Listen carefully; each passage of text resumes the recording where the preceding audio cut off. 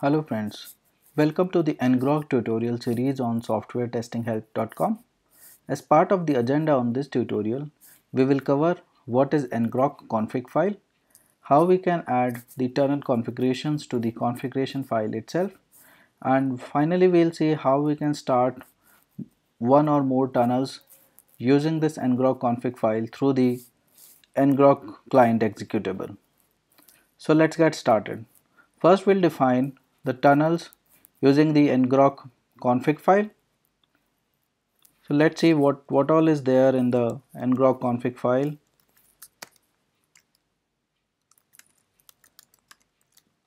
And since it's a YAML file, I would recommend to use any web-based YAML editor to edit it so I've opened this best YAML editor online it says codebeautify.org let's paste the existing YAML config file here and we'll add the tunnel information here. So before we start the two applications that we created in the last tutorial that is a Spring Boot and web-based uh, Node.js based web application we I have all both of those apps running.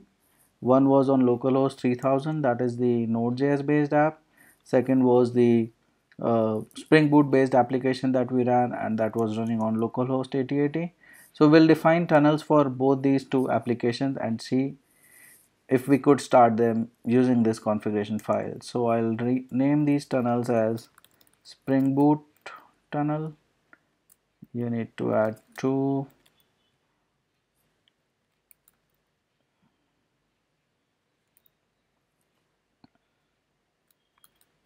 protocol for proto and address is the port number. Similarly for node.js need that proto is again http addr is for port address that is 3000 that's it. So that is the configuration that you need to add to the ngrok config file to define the tunnels let's try validating this. So yes it says that it's a valid YAML. And now I copy this YAML and paste it onto the actual ngrok config. So I'll use any editor here.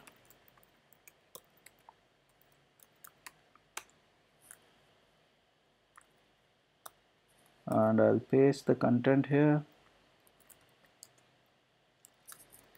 Okay now let's see how to execute or start the tunnels using this config file.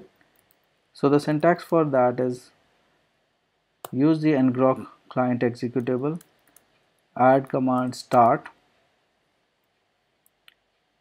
and let's write the name of the tunnel that is spring boot and hit enter. So now what it is doing it's it's trying to find a tunnel named spring boot inside the config file. And then if it finds it creates a tunnel to the defined configuration. So we can see that it has created a tunnel to localhost 8080 and spring boot was the name of tunnel that contained configuration as http protocol 8080 port.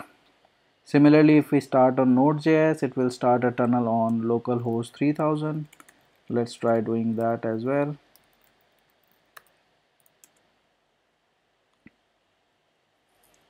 and we can see that it started a tunnel on localhost 3000 we can try accessing this on the web as well.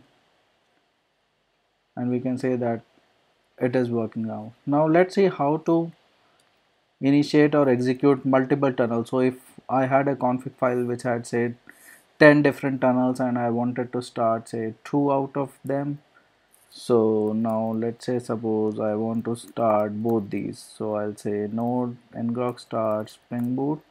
And you just need to separate the tunnel name by spaces. I'll say node.js and hit enter. So let's see if it creates two tunnels.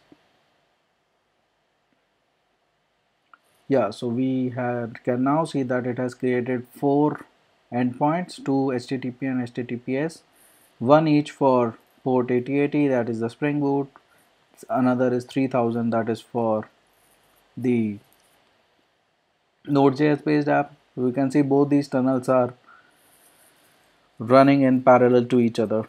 If we go to the web interface we can again see that both these tunnels are there. It will list down those tunnels. I can hit both these tunnels.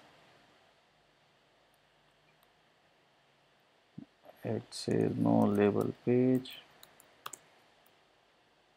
it says ngrok test tab and I start getting the traffic for this as well. Let's try hitting the one for node.js and see if the traffic for that is coming as well.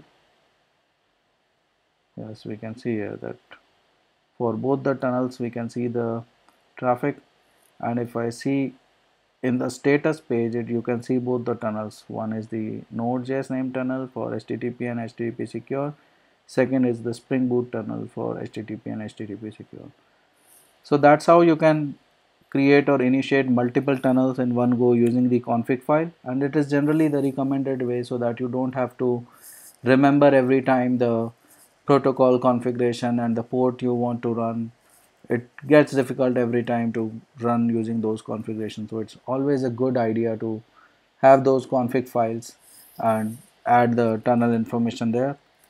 If you want again it's a shortcut that is available. If you want to start all the tunnels that are there in the config file so matter no matter if there are 100 tunnels there if I mention this switch all I should see again both the tunnels getting started